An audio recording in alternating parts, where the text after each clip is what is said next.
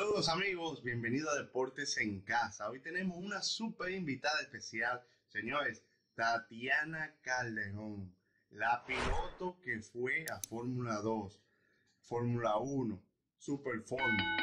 Señores, pero hoy, hoy tenemos una súper, súper, súper invitada especial. Así que vamos con las preguntas para Tatiana Calderón, ¿verdad? Eh, Tatiana, la primera pregunta es, ¿Cómo se introdujo en el ámbito del automovilismo? Bueno, yo empecé cuando tenía nueve años en una pista de alquiler de karts que había cerca de, nuestra casa en Colombia. Mi hermana Paula me, me llevó, compramos un turno de cinco minutos y me enamoré de la velocidad y de la adrenalina. Y bueno, creo que mi amor por este deporte crece todos los días. Obviamente crecí viendo a, a Juan Pablo Montoya llegar a la Fórmula 1 y desde, desde muy pequeña entonces tuve ese sueño de acceder a la máxima categoría del automovilismo. ¿Qué se siente representar a su país, verdad, en todas las competiciones que ha estado? Creo que para cualquier deportista no es un orgullo poder representar a Colombia, a las mujeres. La verdad es que cuando uno oye el himno en, el podio, cuando ve las banderas por todas partes eh, del mundo, en, en las tribunas, gente que viene a verte, la energía que, que te mandan los colombianos es, es impresionante, así que espero poder regalarles más alegrías y seguir contando con, con ese apoyo incondicional. ¿Cuál ha sido el logro más satisfactorio que has tenido, verdad? ¿Y por qué?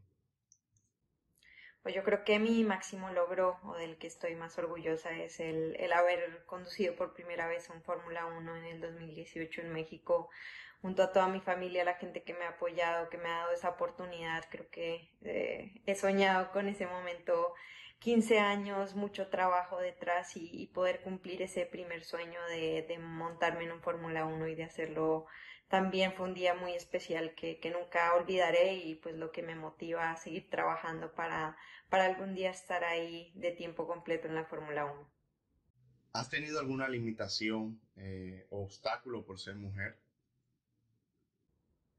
El hecho de ser mujer en este deporte que todavía está predominado por hombres no, no ha sido fácil ganarse el respeto de, de tus ingenieros y la credibilidad eh, fuera de pista, pero también dentro de pista de tus competidores, eh, mostrarles que, que tú estás ahí para competir igual que de tú a tú, igual que ellos, eh, pues no, no ha sido fácil durante mi carrera, sobre todo cuando llegas a, a categorías donde no te conocen, Luego la parte física también, como mujer tenemos 30% menos de masa muscular. Los carros están más diseñados también para, para hombres que para mujeres, entonces hay que hacer varias modificaciones para, para no poder sentirse cómodo, así que seguimos en esa lucha, no ha sido fácil, pero yo creo que son de los retos eh, más interesantes y pues que ojalá poco a poco haya más y más mujeres vinculadas a este deporte porque es de los pocos donde podemos competir mano a mano. ¿Cuál ha sido su experiencia ¿verdad? en Super Fórmula, en Fórmula 2 y bueno, también como piloto de prueba en Fórmula 1? Bueno, he tenido la oportunidad pues de, ser piloto de pruebas del equipo Alfa Romeo Racing Orlen. Eh, llevo cuatro años vinculada con el equipo.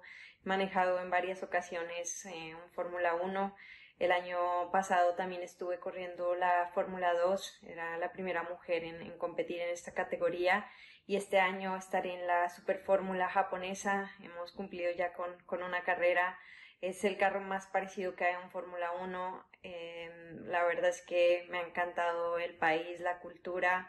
También soy la primera mujer en competir ahí de, tiempo completo este año, así que ojalá que pueda seguir demostrando que, eh, que estoy preparada para, para competir al más alto nivel. Espero que ustedes estén ahí también muy pendientes para seguir todas las carreras, ojalá que pues a pesar de la pandemia pues logremos cumplir con, con todas las carreras pactadas eh, para este calendario. Hoy quiero enviarle un saludo muy especial a República Dominicana. Muchas gracias por todo el apoyo.